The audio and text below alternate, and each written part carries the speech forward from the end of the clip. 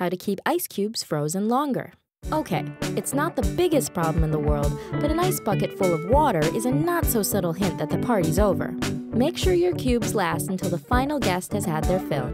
You will need boiled water, large ice trays, and insulation like bubble wrap or cloth. Optional, muffin tins. Step 1.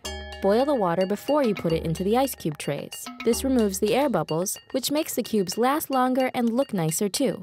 Crystal clear instead of cloudy. If your trays are plastic, be sure to let the water cool down before you pour it in. Step 2.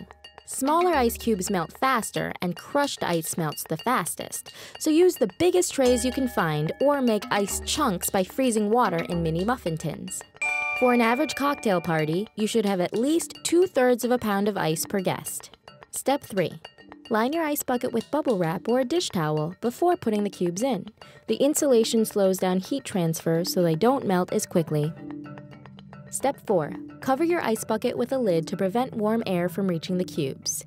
Keep your cool. Did you know? Americans use the most ice cubes in the world.